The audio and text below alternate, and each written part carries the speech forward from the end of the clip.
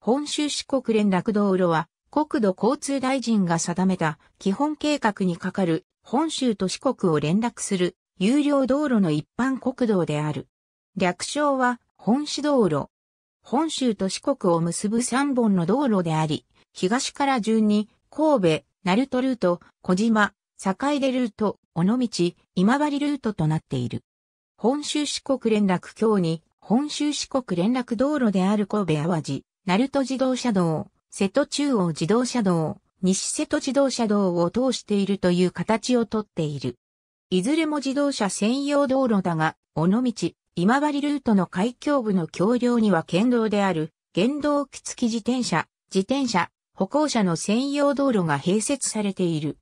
1969年の新全国総合開発計画により3ルートの建設が決定された。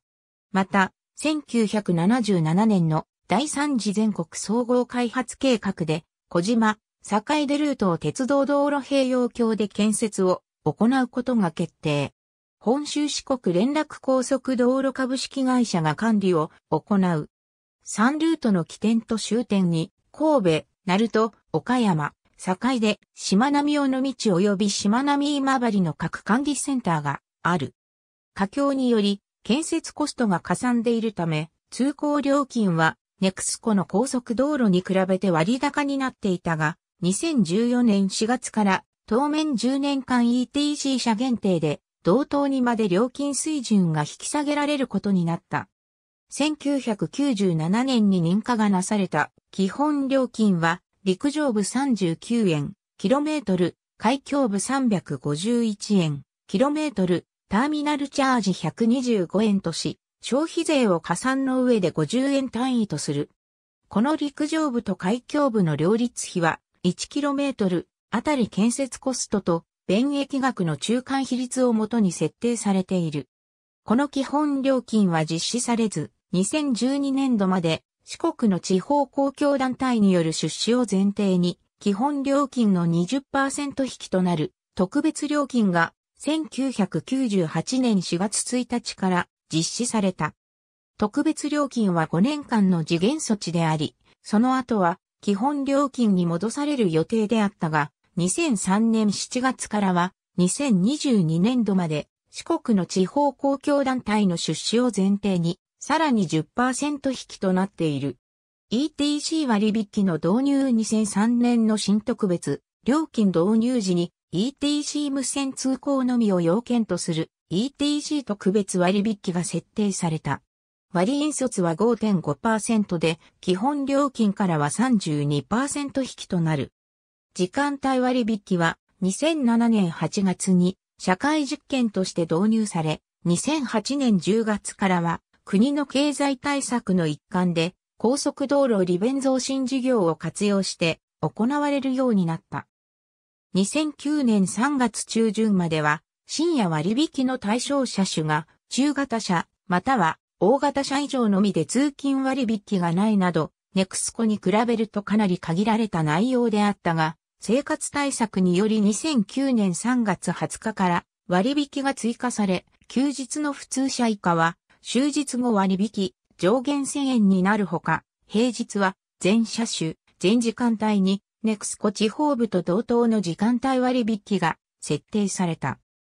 料金水準引き下げの要望に本国政府に加え、本市道路沿線6県、高知県、大阪府、大阪市及び神戸市の10自治体が JB 本市高速の株主として日本高速道路保有債務返済機構に年間267億円の出資をしている。佳境を求めたのは地方側であるという誘致責任からだが、地方側はすでに責任は果たしたとしており、新特別料金設定の前提となる2022年度までの出資延長を拒否してきた。それとともに割高な料金は日本の高速道路では誘致した自治体に負担はなく地域間格差を助長するものであるとしてネクスコと同水準に引き下げるよう求めてきた。2011年1月から国土交通省と出資自治体との間で本市高速の料金等に関する調整会議が行われており、2012年2月17日に開かれた第7回会議において、2014年度から本市道路を全国プール制に組み入れて、共通の料金とする方針が決定され、地方側も減額などを条件に出資を継続することになった。2012年3月14日に開かれた第8回会議において、自治体の出資を2年間延長の上金額は24%削減とする合意がなされた。2012から2013年度の料金、割引については、休日の普通車以下の ETC 料金を陸上部27.56円、キロメートル、海峡部229.9円、キロメートルとして計算した料金から5割引きとする。一方、同じく中型車以上の ETC 特別割引を廃止する案が提示された。翌15日から19日まで高速道路機構と高速道路会社によるパブリックコメントが行われ、4月14日から実施されることになった。全国共通料金の具体的な水準について、出資自治体は海峡部の両立が伊勢湾岸道路のそれを上回らないことを求めた。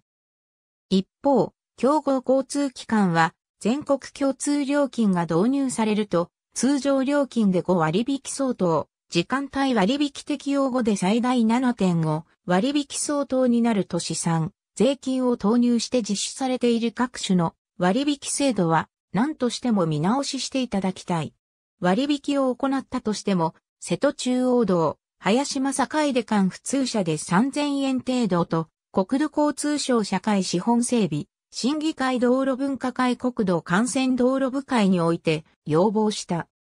2013年6月25日に出された道部会の中間答申では多額の建設費や海峡部横断という特別な便益を提供していることから料金水準を他の区間より高くすることは妥当だが有効活用の観点から大きな差とならないようにすべきとされた。